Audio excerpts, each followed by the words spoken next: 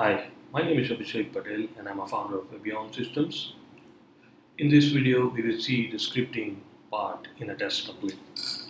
So far in my previous video, we have seen how to automate test case using keyword test where you perform the user action and TestComplete record it and replay it back as a part of keyword test. But in the actual project, you may come across a case where you cannot perform the user action to record it. For instance, you want to extract a date and time out of available string and want to compare with the available date. Now this action cannot be performed using keyword test. So you want to write a script for them. Now let's see how to do scripting in a TestComplete. So here we have this folder script where you can create a script for your automated test case. Okay. Hmm. Let's see how to do scripting here. So I have this conditional statement test, which is a keyword test. Now I have a requirement where I want to add a complex logic here. So either I'm gonna convert the whole keyword test into the script and add a complex logic as a part of script, or I'm going to create a small function I'm going to call that function inside the keyword test. I'm gonna run the keyword test and that function will run as a part of keyword test. Okay, let's see both the approach one by one. Let's first convert the whole keyword test into the script. For that, I'm going to right click on the keyword test that I want to convert it into the script. And here I'm going to select this option, convert to the script, which will convert my keyword test into the script. And for here, the test name, you can give an appropriate test name. I'm gonna say conditional statement test keyword to script, something like that. Okay. So this is basically the function that is going to be created inside the script file. And here, click here to add a new script. So I'm gonna give a name same as this keyword test name. That way I know that the function inside that script are related to this keyword test.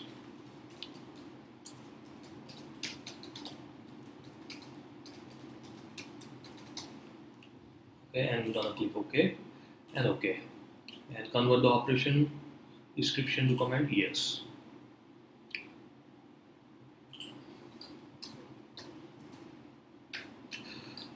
So as you can see here my keyword test got converted into the script test okay? So as I was saying before now I can add complex logic here. For instance I have a requirement where I want to extract the date and time out of available string. Let's give a message. Extracting date and time out of available string. Okay.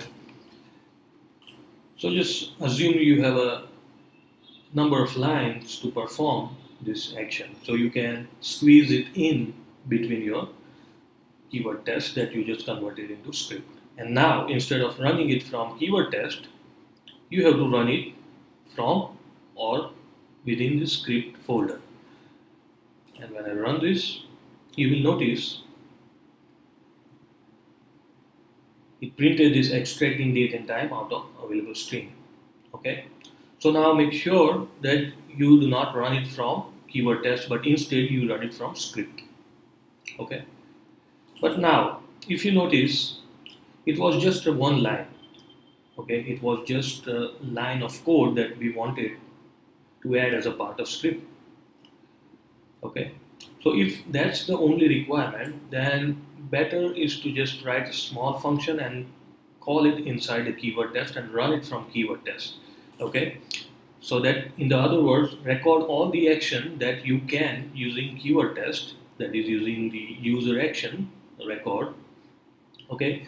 And when you hit the situation where you cannot any longer record in that time just create a function inside the script. Okay let's create one function. Function extracting date and time out of available string okay? And here I'm gonna print a message tracking date and time out of available string okay? Like that and you have you also have one more function which you think you cannot perform using keyword test. So you are going to create that uh, uh, function inside the script. So function would be let's say sign out okay? And just print the message log message signing out of an application which cannot be performed using keyword test okay this could be possible when you do not have any stable web objects and you have to use XPath or jQuery to get the locator and perform the action on it. During this time, you have to do the scripting instead of keyword test. Okay, so we have this couple of functions that we think cannot be performed as a part of keyword test. So go back to your keyword test which you just recorded, and now when you cannot record any longer, and but you have scripted inside the script folder, all you have to do is just drag your script okay which contains the function that you just created and here I'm gonna select one of the function that I want like extracting date and time and click OK as you can notice it's now available here inside our keyword test also I want to call this sign out function as well okay so all this test is going to run as a part of keyword test and this couple of functions or steps I are going to run as a part of script test. Okay. Now when I run this, will, as you can see, it's doing all its job like printing all the steps of keyword test and this last couple of steps uh, steps excuse me are coming from the script test okay? When I double click on it it will take me directly to the function that performs that steps okay? All right so this is the best practice actually.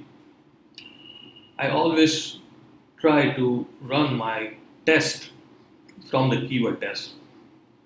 Record as much as you can using the keyword test because that's the best feature of TestComplete. And use this functions or scripting function when you cannot record any longer okay and as we are talking about scripting I would also like to explain a few more things. This is the JavaScript actually.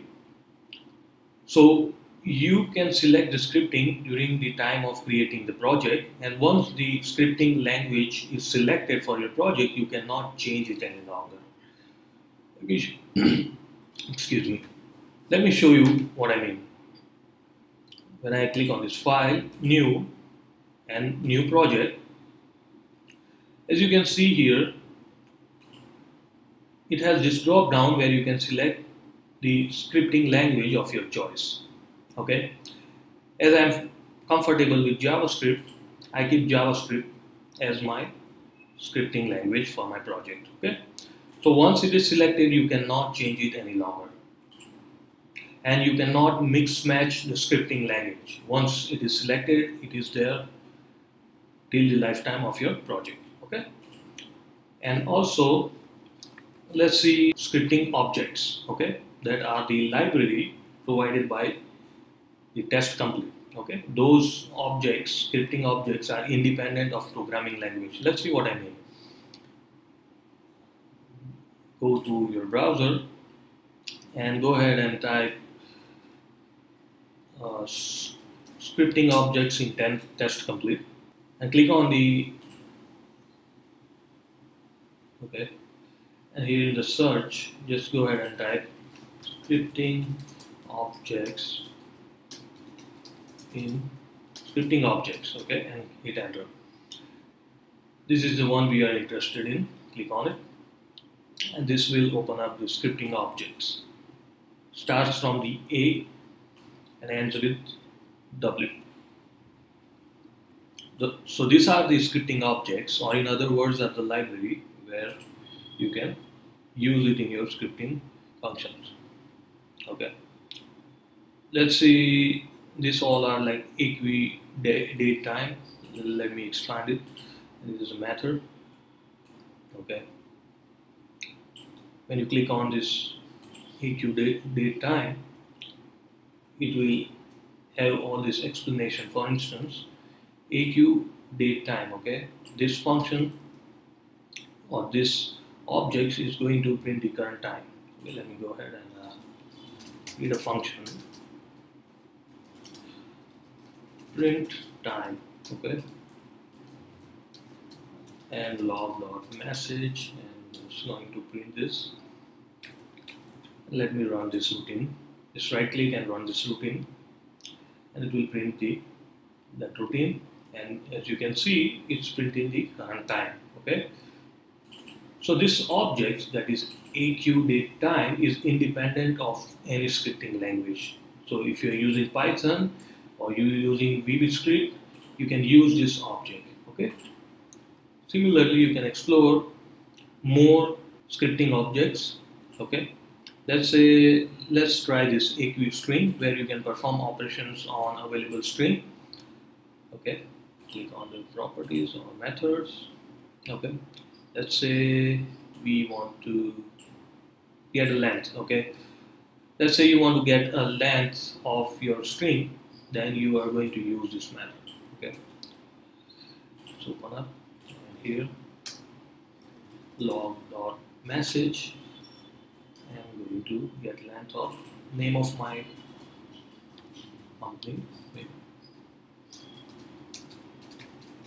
Webeon systems and control save now if I run this routine first it, will, it is going to print the time and then it's going to print the number of character inside this string okay so I would suggest you to explore all these scripting objects. You have this aqHttp where you can perform APIs testing like create get request, create post request.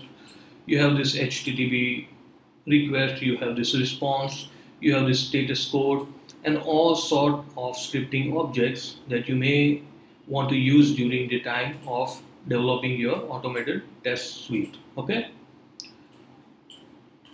So that's it in the scripting of TestComplete. If you have any questions, doubt, feel free to comment in the comment section of this video and see you next time. Thank you very much. So if you need a software testing consultation or software testing training, then visit to our company's URL that is www.webeonsystems.com and on the home page click on this contact us button which will take you to the contact us section of the website. Now here either you can write us at contact at webyawnsystems.com or you can call us at this number if you are from India or at this number if you are from United States or the Canada. Thank you.